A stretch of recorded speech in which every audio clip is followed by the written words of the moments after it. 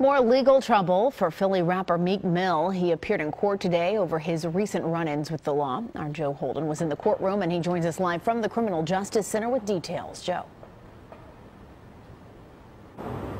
Jess, unbelievably, this hearing is still going on. Robert Williams, or as most people know him, the rapper Meek Mill, was brought before this judge on allegations that he had violated his probation. Now, this goes back 10 years with this judge, all stemming to 2008 when he was convicted on gun and distribution charges. Well, we were there. We got the tip, and we were there as Meek Mill entered the Criminal Justice Center. He had a 1:30 date with the judge, accompanied by his attorney. Brian McMonagle.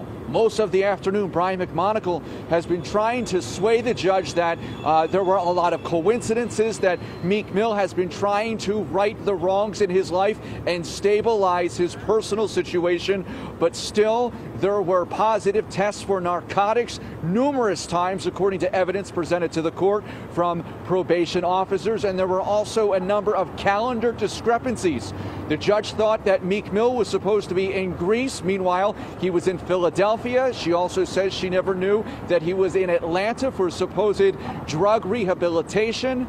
He was down there, according to the court, without their knowledge. All of these have been ruled at this time to be probation violations. Right now, there is a sentencing hearing underway inside the Criminal Justice Center.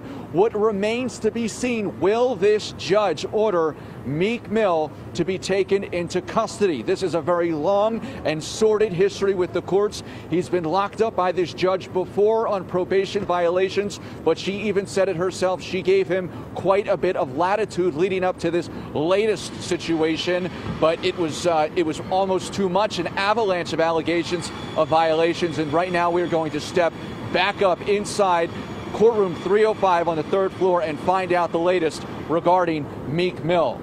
We're live for now outside the CJC in Center City. Joe Holden, CBS 3 Eyewitness News. All right, Joe, get back to us. Thank you.